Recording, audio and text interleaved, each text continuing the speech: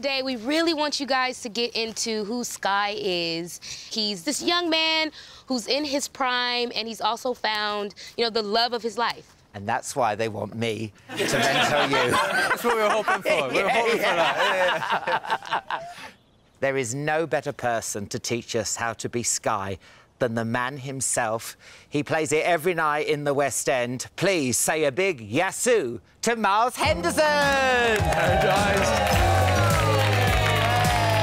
Guys? Nice to meet you all. What will you be doing with the boys today on this workshop? So today we are going to be focusing on your acting. We're going to be running through the Sky and Sophie argument scene. Now in this scene he learns everything that Sophie has kept hidden from him and it's pretty important because we see a different side to him that we haven't seen before. Now there is one thing that you're going to need to help you recreate this scene which is of course a Sophie. So I thought I would lend you my leading lady from Mamma Mia. Let's say hi to Meg Hateley.